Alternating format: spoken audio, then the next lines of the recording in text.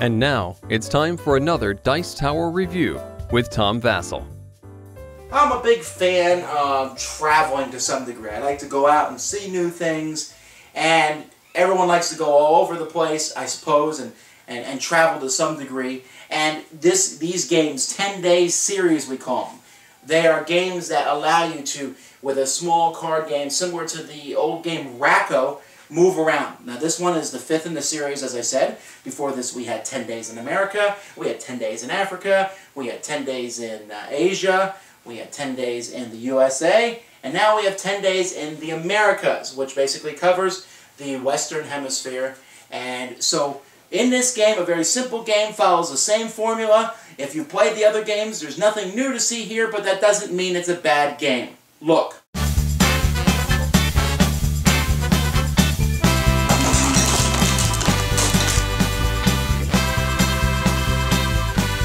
As in all the games in the 10 day series, the map is technically superfluous in the fact that you don't, this is actually not a board that you're using in the game. You just have this in the middle for reference purposes. And I'm going to guess that most people are going to need it.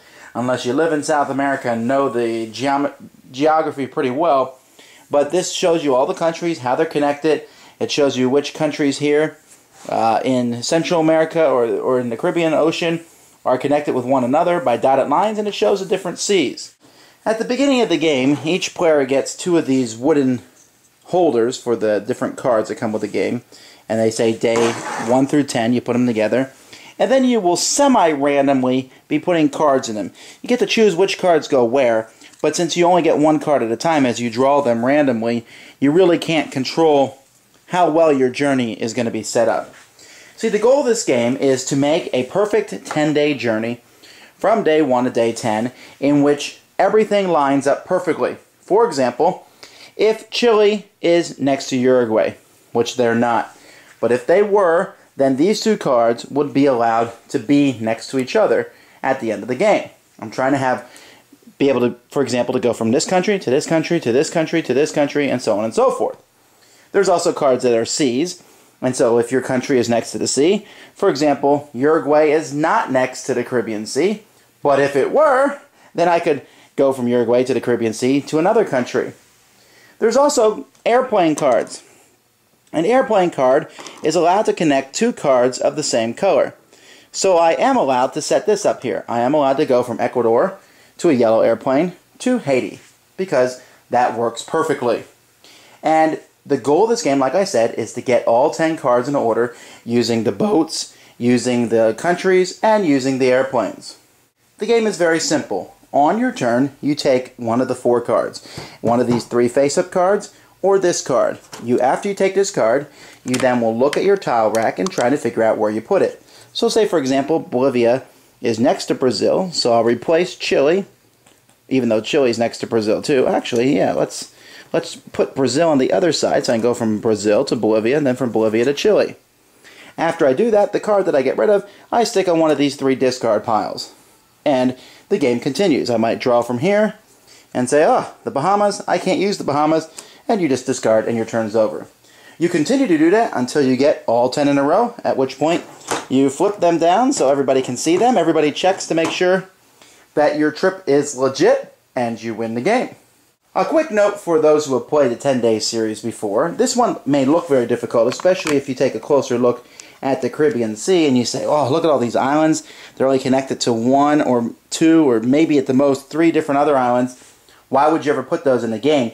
But you notice there's a Caribbean Sea, and you can use Caribbean Sea cards, and there's five Caribbean Sea cards in the deck. So you're able to transverse those pretty easily. In fact, this game allows you to go from one sea to another sea. It's called going on a cruise. So I can go from the Caribbean Sea to the South Pacific Ocean, because you can go through the Panama Canal, to the North Pacific Ocean. The only caveat is that you can't end with one of those ships. But so that's pretty neat, and it does add a different twist that this game doesn't have. I mean, the, the other 10 days games don't have.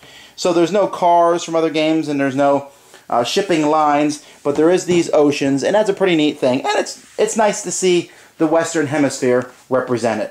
10 Days in Americas is nothing fantastically new if you've played the other four games in the series. but it's more the same, and it's a good system. It's good because it's geographical. It really helps you learn your geography. It's educational, forcing it down your throat, and it's a fun game.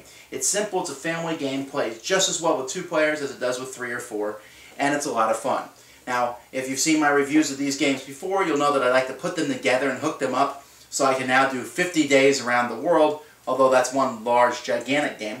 Although from out of the box, you can get their games for combining any two of them and doing 20 days around the world. So I'm, I have a lot of fun with this. I think it's great. Like I said, nothing new and flashy when compared to the other games.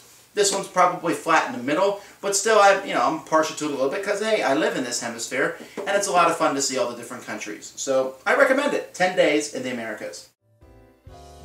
Thanks for joining us today. For more written, audio, and video reviews, as well as the number one board game podcast, check out the website at www.thedicetower.com. Until then, this is Eric Summerer, and you've been watching The Dice Tower.